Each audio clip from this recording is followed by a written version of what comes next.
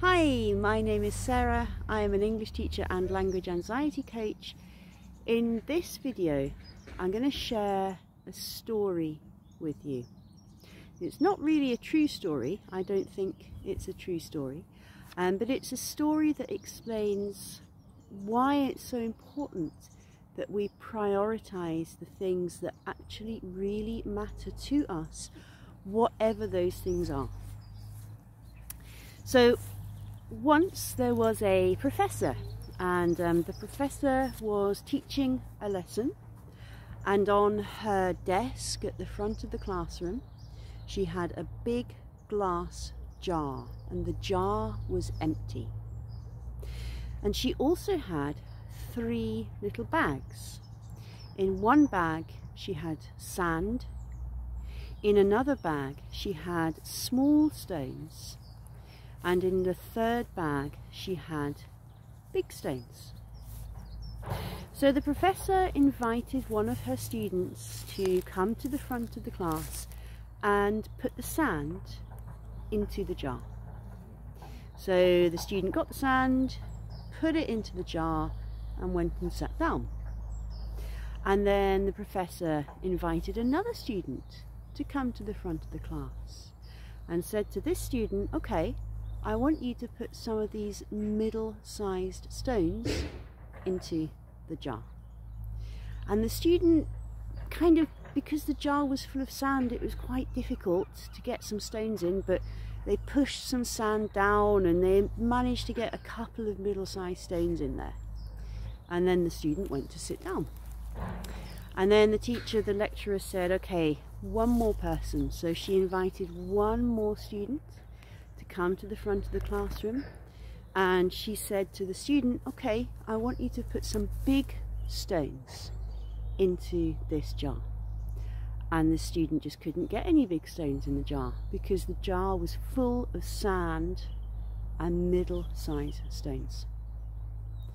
So the student gave up and went to sit down and the teacher took the stones out of the jar and then she tipped out the sand.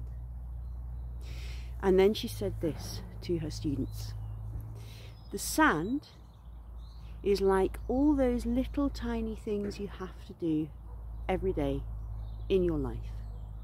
Washing the dishes, cleaning the flat, checking your emails, going onto social media, watching videos like this, going to the supermarket, all those things that have to be done to live, but which are kind of not really that important. The big stones, those are the things that really, really matter to us.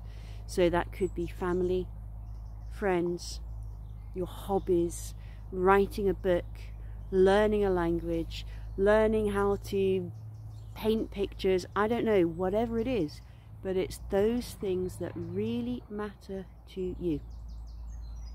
And the middle-sized stones are everything else that's kind of in the middle. It's more important than washing the dishes, but maybe not quite as important to you as learning to write a novel.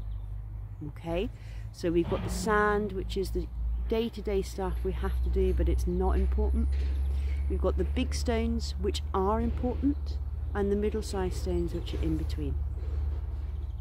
And the teacher she put all the big stones into the jar.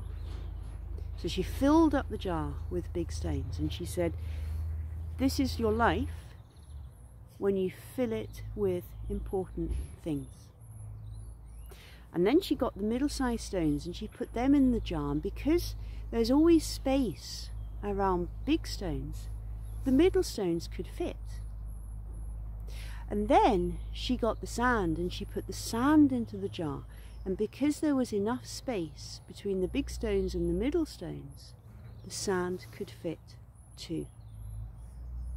So there's a lesson here, and I think it's a really good lesson for all of us.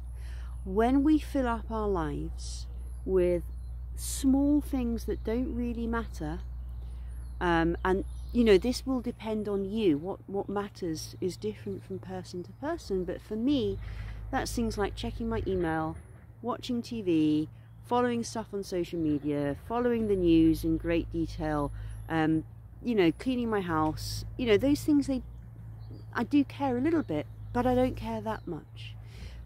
If I do too much time, if I spend too much time on those things, I have no time for anything else.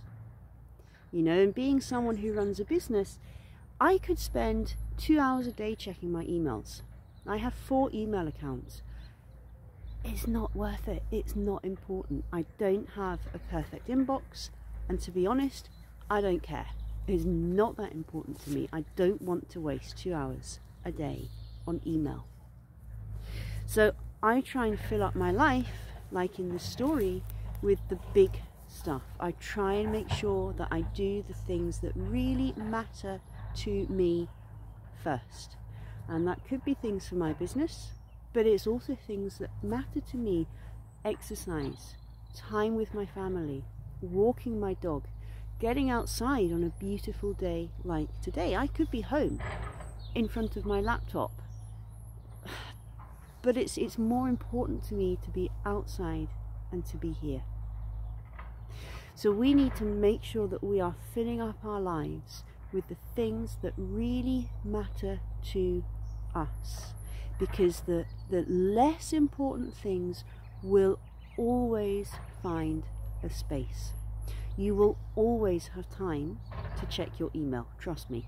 You will always have time to go to the supermarket or clean your house or write to your auntie or whatever it is.